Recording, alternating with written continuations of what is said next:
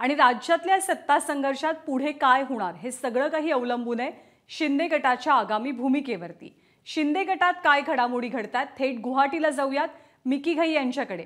Mickey गुवाहाटीच्या हॉटेलमध्ये भेटीगाठींचं किंवा बैठकांचं सत्र अजूनही सुरूच आहे का? काय तिथे घडतंय नेमकं?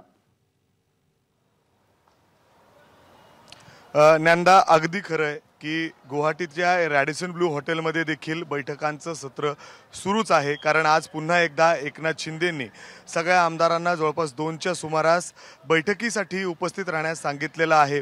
अशी देखील आपल्याकडं प्राथमिक माहिती आहे की एकनाथ शिंदे स्वतः मुंबईत येऊ शकतात.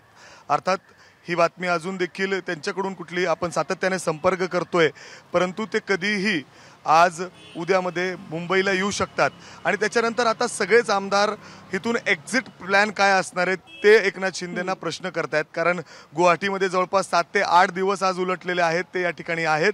आणि मतदारसंघापासून ते दूर आहेत. सातत्याने त्यांच्या घरून फोन येत- आहेत.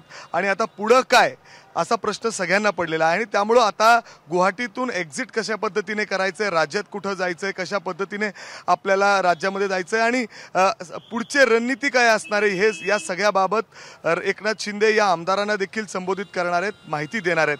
एवढंच काय तर एकनाथ शिंदेनी असा पुन्हा एकदा दावा केलेला आहे की आणखीन काही आमदार माझ्या संपर्कात आहेत आणि ते देखील एक शिंदे गटासोबत येऊ शकतात अशी देखील माहिती या ठिकाणी दिलेली आहे. आणि ते सातत्याने ज्या पद्धतीने दावा करत होते की हा आकडा पन्नासपर्यंत जाऊ शकतो तर अर्थात तो आकडा आता सिद्ध होताना दिसतोय.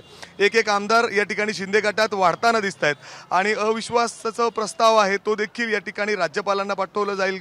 राज्यपालांशी सा- सातत्याने या ठिकाणी संपर्क साधला जातोय. आणि अतिशय महत्त्वाचं म्हणजे हे सगळे आमदार एकत्र पुन्हा एकदा दोन वाजता येणार आहेत आणि पुढची रणनीती या ठिकाणी आखली जाईल. कदाचित दीपक केसरकर पुन्हा एकदा माध्यमांशी ऑनलाईन पद्धतीने येऊन ते त्यांची भूमिका देखील मांडतील. पुढची रणनीती काय असणार आहे? पुढची त्याची हो, दिशा काय असणार आहे? ते महाराष्ट्रात कधी येणार आहेत? हे देखील कदाचित ते स्पष्ट करतील. बरोबर. आज दुपारी दोन वाजता पुन्हा एकदा बैठक होणार आहे. बैठकीचे अपडेट्स मिकी जाणून घेत राहू. सध्या धन्यवाद. एबीपी माझा. उघडा डोळे बघा नीट.